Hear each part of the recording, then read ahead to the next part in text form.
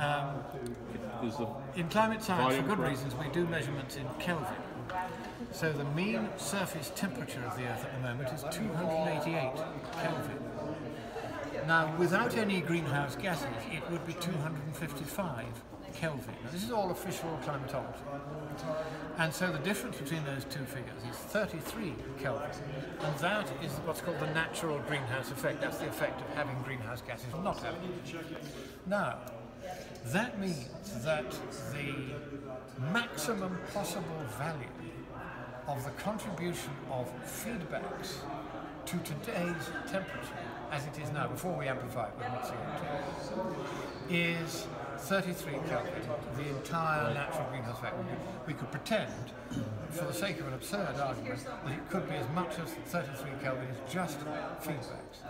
That means that the feedback fraction, which is the fraction of the uh, today's surface temperature that is represented by the contribution from feedbacks, is 33 over 288 okay? which is less than 0.12, less than one eighth. Right.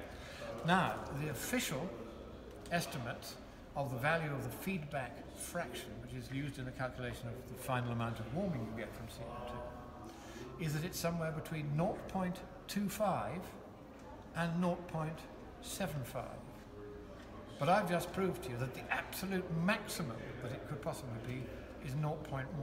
Point one two. And it couldn't be anything like even that. It couldn't be even more, as much as half that. So to say it was 0.25 is an exaggeration of 100%. that's right, and, and worse as you go up the scale. So, uh, from, therefore, we know that their estimate of the feedback fraction is way, way, way too high. But there's a further aspect of this error that they make.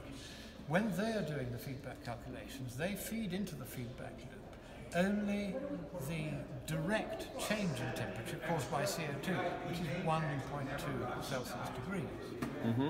That's the official figure. I think it's less than that, but I can't prove it, so we'll use that figure. Now, that 1.2 Celsius degrees is what they feed in when they should feed in 288 Celsius degrees. So they're feeding in a figure which is 1 250th of what it should be.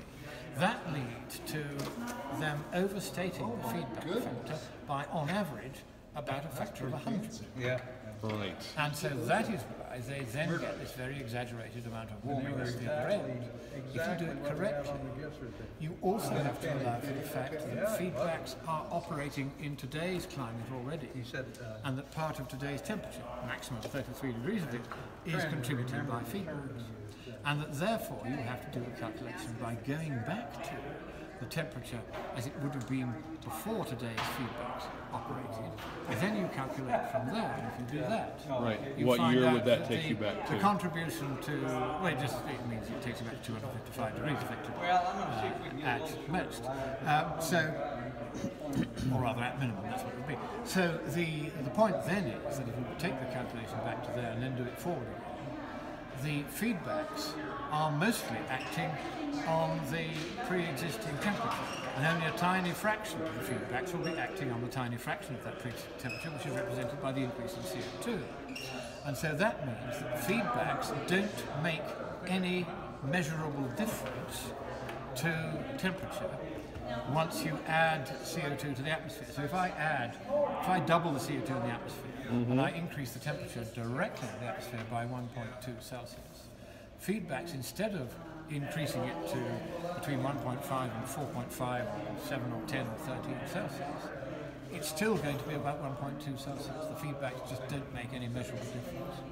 And that is revolutionary because the word feedback is measured, is, is mentioned, I should say, 1,000 times in the fifth assessment report of the Intergovernmental Panel on Climate Change. the last How do one they define the word feedback? 2013. Feedback is where some fraction of the uh, input, or actually of the output of a, a, a circuit, in this case the climate, uh, is fed back and becomes part of the input and is then amplified by an amplifier and then it goes round and out to the other end. And the mathematics governing that very simple circuit are surprisingly complicated. And the uh, climate scientists have never understood it and they use a very crude approximation to it, which however has these various mistakes in it. And it's because of those mistakes that they have ended up thinking that global warming could cause as much as 3, 4, 5 Celsius uh, of warming, when in fact it can only cause about 1. That's it. Case closed.